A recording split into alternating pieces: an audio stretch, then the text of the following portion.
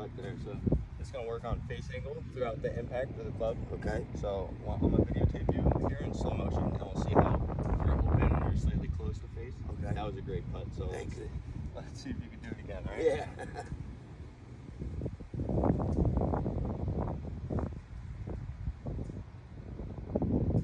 Ready when you are.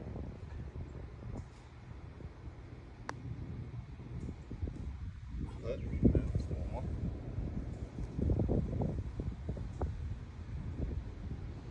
When you are. Ready. Just push that last one a bit. Okay, let's look over it. Alright. So this was the second putt. Okay.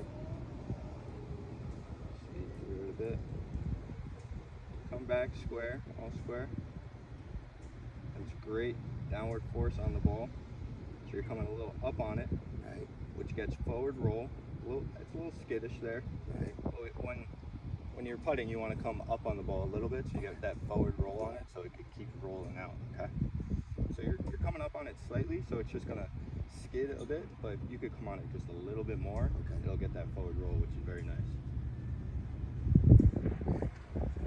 Yeah, you, clo- you close it slightly at the end.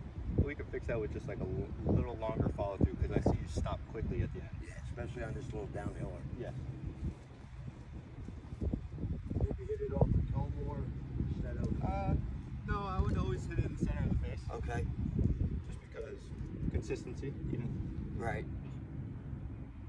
Okay. Uh, I'll videotape you here again. I'll go from the back this time. Tell me when you're ready. Go ahead.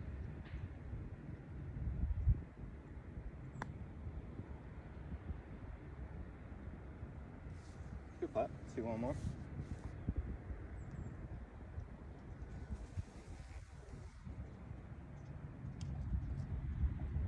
Whenever. There you go. So it, breaks a bit right. So now we know that. Let's look over this one before you hit that. Over this one behind the ball. So come through nicely. But you see how, how you just stop that putter head short right at your front foot, right before your front foot. Right. So you could follow through slightly more to get more of that forward roll on it. Let's see, practice. Yeah. You could come back more further here because you're. Yeah, there you go. All about tempo. So same. There you go. I like that. All right.